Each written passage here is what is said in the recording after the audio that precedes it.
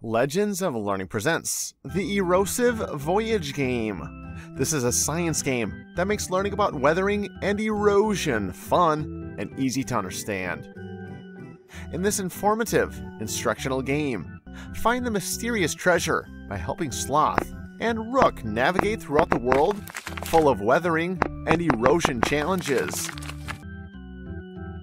The story guides the player through interactive tasks located in the 3D world. This science game will test your knowledge on weathering and erosion. Use the mouse to click on different items and clues to progress further on the voyage to learn more about erosion and weathering. Each minigame requires you to click with the mouse on different objects to complete tasks to move to the next section on the map. Use the mouse to click and select different clues to help you progress. After each clue, you will learn more about how weathering and erosion will help you progress to the next section on the map. Complete all the levels to win the game.